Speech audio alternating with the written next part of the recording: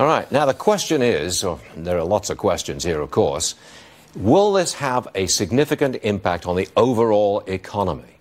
My opinion is short term, pretty bad because a lot of disruption. Longer term, not so bad because there'll be a lot of rebuilding. Let's see what David Bahnsen thinks of that. That is my opinion. What's yours? No, I, I don't agree, but I want to be able to explain because I think that you wait, and wait, I come wait. from a. You don't agree with me? and how many times do I say that? Frequently. No, I do not. Not Go with ahead. you, Stuart. Tell me.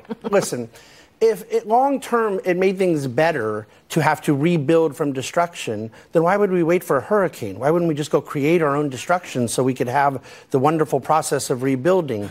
But what it misses is in the long term, we're redeploying assets and resources into rebuilding and repair, but we're taking those resources from some other part of economic use that we would rather have deployed them to.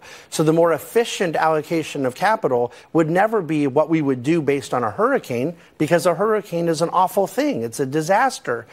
Ideally, we'd rather capital be allocated towards its most organic and natural and profit seeking use. So to have to deploy it to go into other activities is what you have to do because of, of you know human living conditions and things, but it's not good for an economy.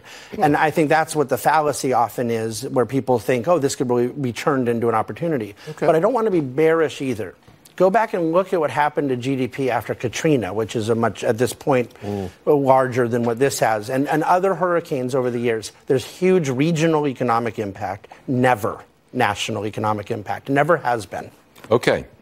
What, what about the moral question?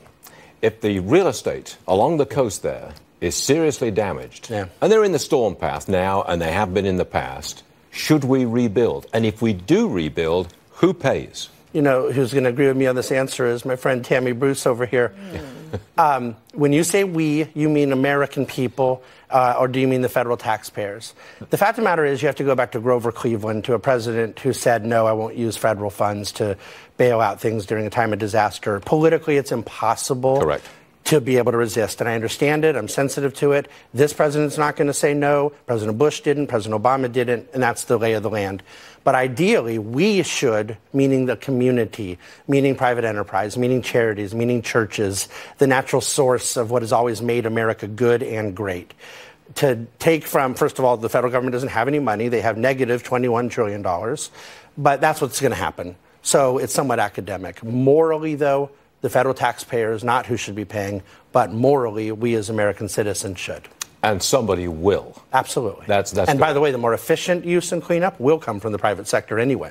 Always. Uh, that is that is true. I just feel that there's going to be a lot more money spent. I take your point about those resources being taken from somewhere else and deployed in the Carolinas and North Georgia. I got it. President Trump is not reading a lot of Grover Cleveland. No, Probably not.